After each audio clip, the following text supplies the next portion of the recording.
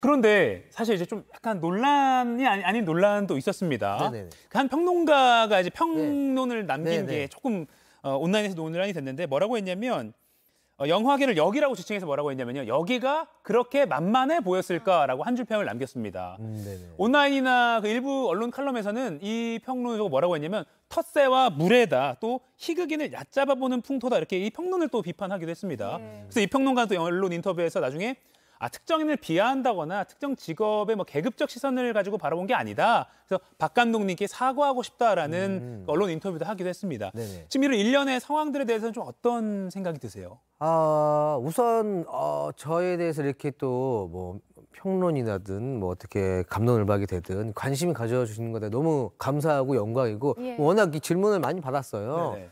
어쨌든 뭐 결론적으로 감사하고 뭐 영광이라는 말씀을 전해드리고 싶고 네.